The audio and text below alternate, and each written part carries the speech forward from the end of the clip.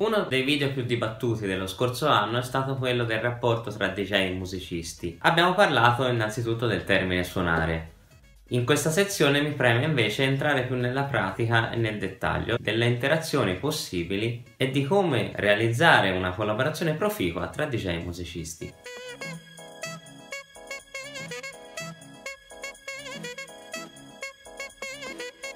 Capita certe volte che un DJ si trovi a suonare con un musicista durante una serata. Andava di moda molti anni fa con le percussioni oppure il sax. Adesso si possono sentire anche la chitarra, il violino o anche un cantante.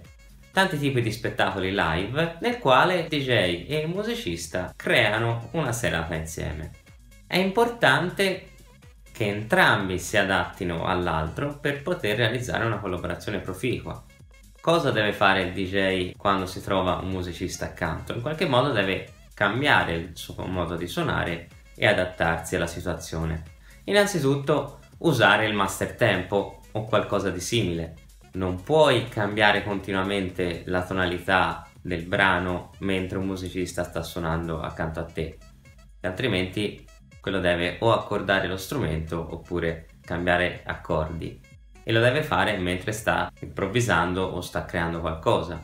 Di conseguenza tenere una nota fissa, anche se non ti piace, però per quella situazione lo devi fare.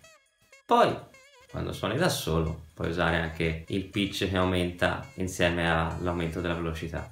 Cambia anche il modo di mixare i dischi. Cerca di sfruttare il fatto di avere un musicista accanto a te per migliorare il più possibile la performance della serata. Di conseguenza gli puoi concedere degli spazi, delle introduzioni, puoi utilizzare brani più strumentali per lasciare spazio, oppure quando il musicista preferisce un arrangiamento più pieno, inserire dei brani più complessi. Puoi mettere dei loop per fare in modo che il fraseggio si allunghi a differenza di quello che è concesso di solito nei brani più radiofonici ad esempio. Se si tratta di un percussionista puoi utilizzare delle tracce con un arrangiamento più minimale in modo che sia lui a creare il groove o quantomeno ad articolarci qualcosa sopra. Se si tratta di una cantante puoi utilizzare delle versioni più dub o strumentali.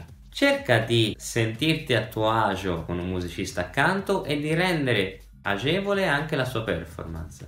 Rivedi un po' la tua selezione e anche il tipo di mixaggio quando hai un musicista che interviene, puoi tenere i dischi un po' di più, perché le persone non si annoiano se ci sentono qualcosa di nuovo sopra.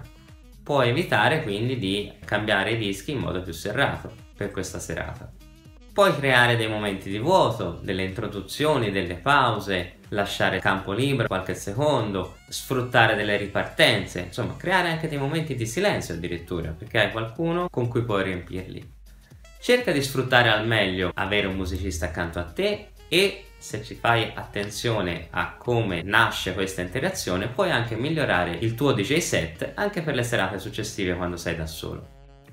Continua a seguire i video di Essere DJ Oggi sia su YouTube che su Facebook.